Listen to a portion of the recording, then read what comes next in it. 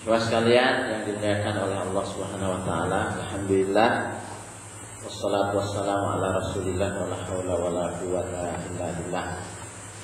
Pada malam hari ini Allah takdirkan kita bisa kembali bertemu di dalam majelis zikir seperti ini.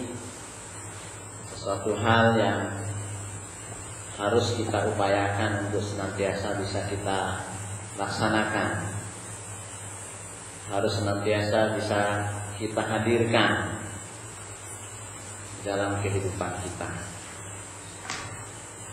Apalagi mengingat bahwasanya tidak hanya pengaruh bagi orang lain yang akan kita peroleh lewat acara mabit seperti ini, tapi juga pengaruh dan dampaknya kepada diri kita secara pribadi. Di samping memang beberapa riwayat menyebutkan akan pentingnya hal seperti ini untuk senantiasa bisa kita lakukan. Rasul Shallallahu Alaihi Wasallam bersabda, "Majtama'a qaumun fi baitin min buyutillah yaqra'una al-Qur'an wa yatadarasuna fi ma bainahum illa nazalat alaihim sakinah wa ghasyiyatuhum rahmah wa haffat anhumul malaikah wa dzakarahumullahu fi man indah atau kama Rasul sallallahu alaihi wasallam. Tidaklah satu kaum berkumpul di salah satu rumah dari rumah Allah yaitu masjid. Apa yang kaum itu lakukan? Yang Quran. Mereka membaca Quran. Tidak hanya berhenti sebatas pada qiraatul Quran akan tapi wayatada fi ma bainahum. Lalu saling mengkaji Quran itu saling tadarus. Saling mengaji dan mengkaji apa yang tadi sudah dibaca. Quran yang sudah dibaca lalu di, dikaji. Illa nazalat alaihim sakinah kecuali Allah akan memberikan kepada mereka yang hadir pada acara tersebut sakinah, ketentraman, ketenangan. Ya, riwayat lain menyebutkan majtama'a qaumun fi baitin min buyutillah yadkurunallah. Tidaklah satu kaum berkumpul di dalam satu rumah dari rumah Allah yadkurunallah mereka berzikir kepada Allah. Nah, karena itulah afdalul zikri tilawatul Quran. Sebaik-baik zikir adalah tilawah Al-Quran. Nah, tatkala kita kemudian di dalam acara mabit itu ingat kepada Allah, zikir kepada Allah, kemudian juga yang kita baca adalah ayat-ayat Allah, yang idza tuliyat alaihim ayatuhu zadatum imana. Bila dibacakan ayat Allah akan bertambah imana imannya maka itulah satu faktor yang kemudian akan membuat sakinah dan ketentraman batin itu akan kita peroleh. Ya, sehingga Tuhan menyebutkan ala bidzikrillahi tatmainnul qulub. Ketahuilah dengan zikir kepada Allah hati itu akan menjadi jadi tenang. Nah ingat zikrullah itu adalah di antara maknanya adalah tilah tilawah. Sehingga dengan membaca firman-firman Allah hati kita itu akan menjadi jadi tenang. Sakinah itu akan di, diperoleh. Sehingga dalam Islam ya resep resep ya gimana bilangnya resep untuk bisa menghilangkan stres itu adalah hadir pengajian bersama. Lalu kemudian ada yang membacakan Quran sakinah. Nah itu efeknya bagi diri kita sendiri sakinah. Yang kedua adalah wa kumur rahmah. Ya gosya itu artinya diliputi. Ada surah al-ghasyiyah ya wal laili idza yaghsha malam apabila sudah meliputi. Nah, yang meliputi kita yang hadir di sini adalah rahmat dan kasih sayang Allah Subhanahu wa taala. Nah, kasih sayang itulah yang sifat yang dominan ya pada Allah Subhanahu wa taala. Ya. Dan itu juga sifat yang dominan pada diri Rasul kita Muhammad Shallallahu alaihi wasallam.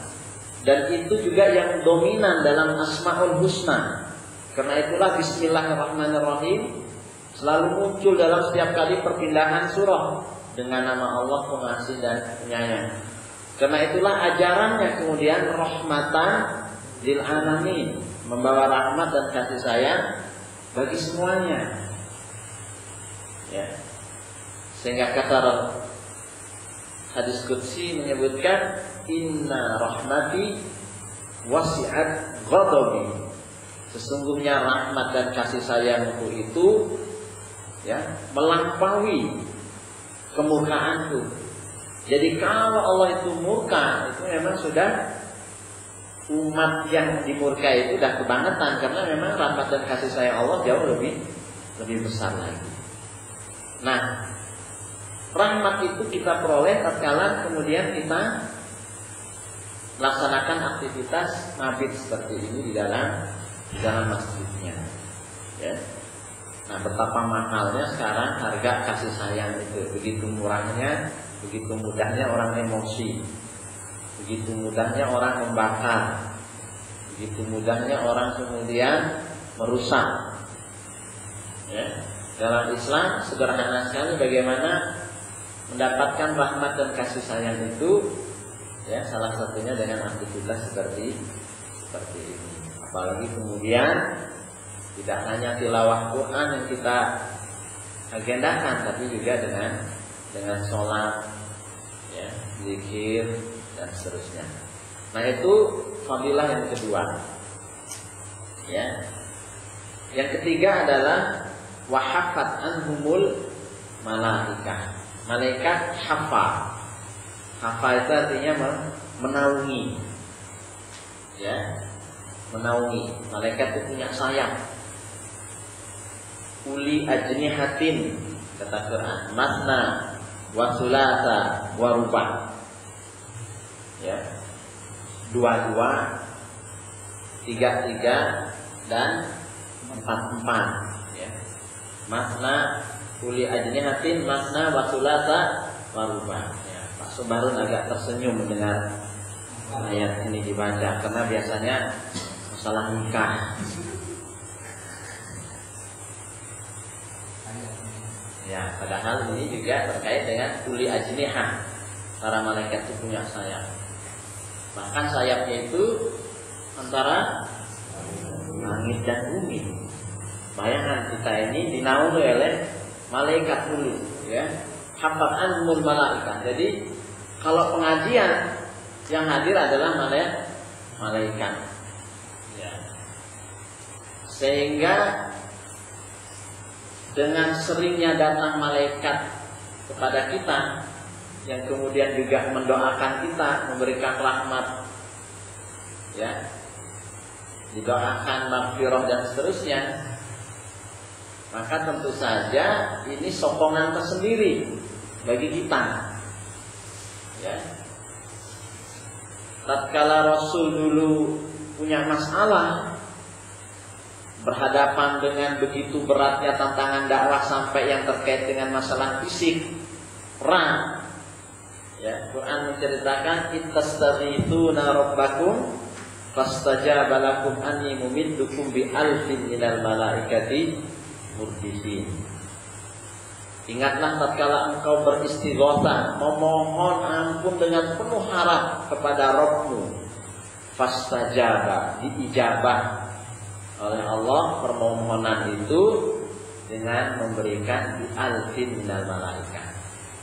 Menurunkan seribu malaikatnya. Ya, yang bersenjata lengkap. Gitu kan?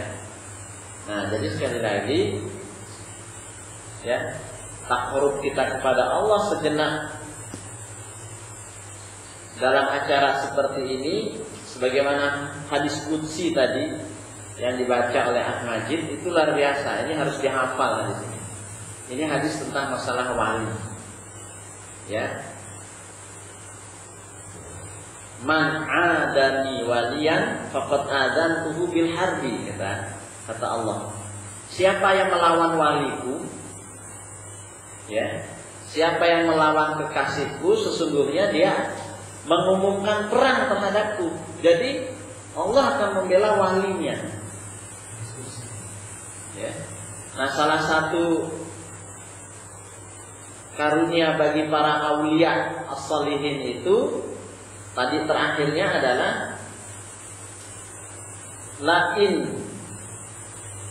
sa'alani la'utiyannahu. Kapan mereka minta pasti aku kasih.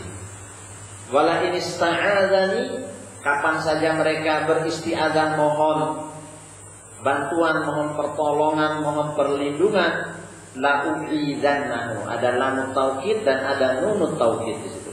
Pasti aku akan berikan bantuan itu. Pasti aku akan berikan perlindungan itu. Tapi ada syaratnya untuk bisa sampai kepada derajat wali yang soleh tadi itu. Pertama adalah melaksanakan yang mimma tuh alaihi. Yang fardu fardu itu tuntas. Ya yang fardu mimma tuh yang sudah aku fardukan. Nah salat fardu terutama ya puasa fardu. Baru kemudian wa ma taqarraba ilayya 'abdi bin nawafil. Ya baru yang nafilah-nafilah yang sunnah-sunnah itu di, dikerjakan. Jadi makin banyak orang melaksanakan yang sunnah-sunnah makin dekat ya kepada derajat wali.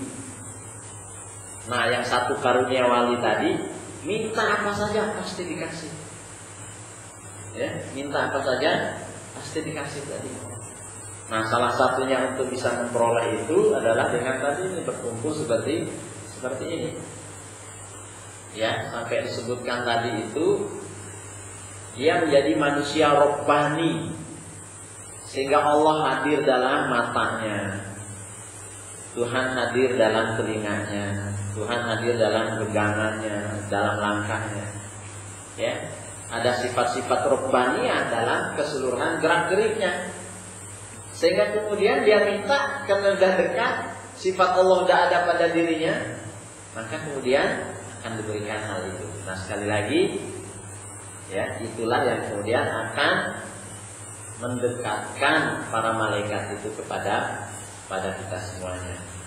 Ya daripada jin yang mendekati kita sehingga kita kemudian selalu merupiah orang gara-gara begitu banyaknya orang kesurupan ya mungkin santri-santriwati atau para mahasiswanya harus sering diajak mabit ya agar kemudian yang hadir itu adalah malah malaikat. Nah yang terakhir adalah fadilahnya apa? Ah, Wazakarahumullahu fiman indah. Allah akan menzikirkan nama-nama mereka di sisinya. Luar biasa.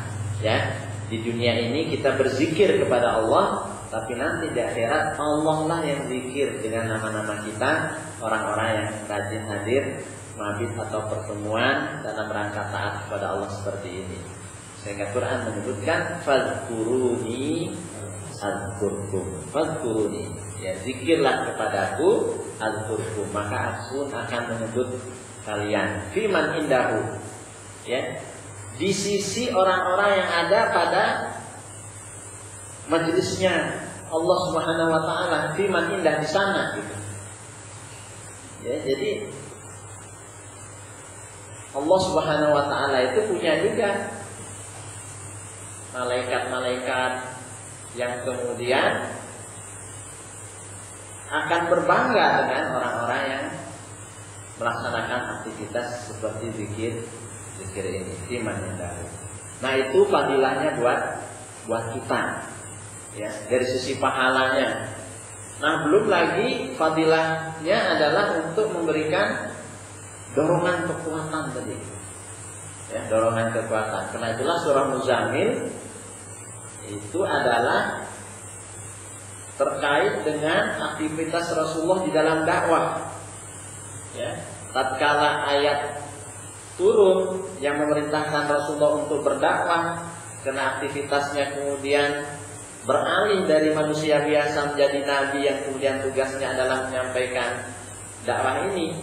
Kata Rasulullah kepada istrinya ya Khadijah intaha ahdun naumi warroha ya Khadijah sudah bukan masanya lagi untuk tidur dan beristirahat. Sudah waktunya kita nih dakwah kita ini harus full semangat gitu ya semangat nah bagaimana agar bersemangat terus Ya, lalu dikasih ayat surah Muzammil itu. Kumil laila ila qalila nisfahu aw inqushu minhu qalila aw alaihi wa rattilil qur'ana tartila. Nah, jadi qiraatul Quran dengan tartil qiyamul lail itu adalah sebagai penguat kenapa? Inna sanulqi alaika qaulan thaqila. Dakwah itu berat, takil berat dakwah. Nah, dia tidak akan mampu ya dilakukan kecuali oleh orang-orang yang sudah memiliki kriteria manusia-manusia yang rohani. Karena itulah para sahabat dulu diberi gelar apa?